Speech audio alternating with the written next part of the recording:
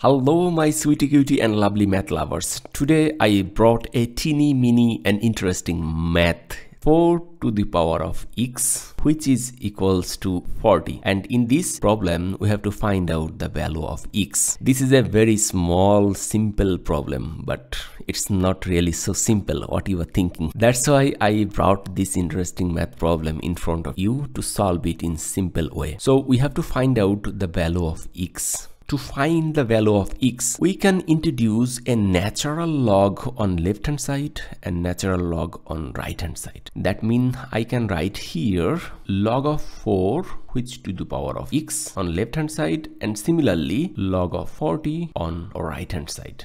Maybe you know from the log identity, if you use the natural log, let's say log of x, which to the power of a. In that case, we can write this power just before this log. That means a log of x. This will be that. That means log of a to the power x is equal to a, which is this power log x. We can use this logarithmic identity exactly on here on left hand equation. That means left hand side of this mathematical equation become x log of 4 on left hand side and right hand side become log of 40. Interesting thing, look at here on left hand side there is a x and right hand side there is no x. That means if you somehow get rid this log 4 from left hand side this x will be totally free. That is our destination.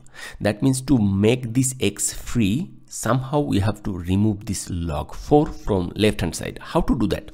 This is so simple. We can divide it both hand side by log 4. That means x log of 4 divided by log of 4 on left hand side and right hand side is already remaining log of 40 divided by log of 4. Here left hand side this numerator log 4 and denominator log 4 they cancel each other and remaining on left hand side is x which is totally free and right hand side is log of 40 and this log 40 can be rewritten as 4 times of 10 divided by log of 4. Why I separate this log 40 by log 4 times 10? So if somehow I find a numerator as log 4 then it will make our next step pretty simple. So this x on left hand side, this log 4 since this is multiplied so I can write it as a plus log of 10 this is another logarithmic identity. Hopefully you know this. Whole divided by log of 4 I need more space. That means left hand side is x and right hand side is this log 4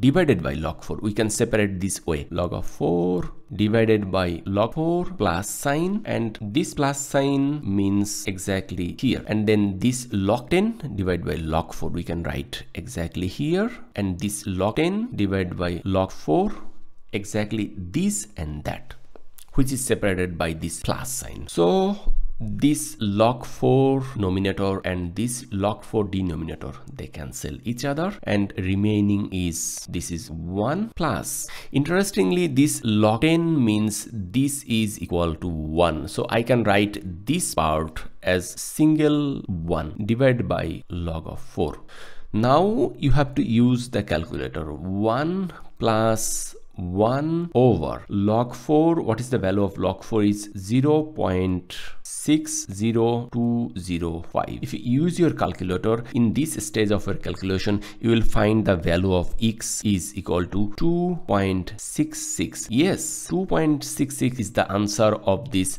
entire teeny mini mathematical problem.